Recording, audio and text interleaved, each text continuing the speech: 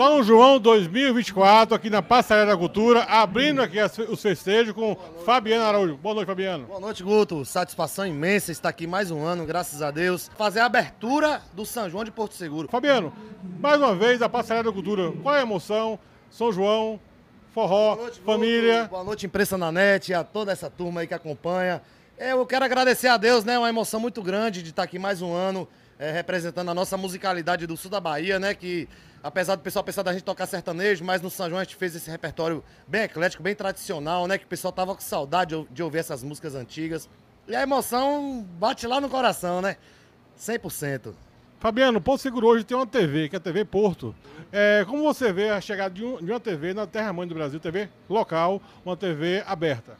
Isso é muito importante, né? Enriquece aí as nossas culturas, o nosso turismo, porque representa e mostra o que muitas, muitas outras imprensas não mostram, né? Então, de ter essa TV aqui hoje, em Porto Seguro, que mostra aí a cultura eh, de Arraial da Ajuda, de Porto Seguro, de todo o nosso, nosso nossa área aqui litorânea, né? Isso é muito importante pra gente e pros artistas também. Obrigado pela moral aí, toda a imprensa.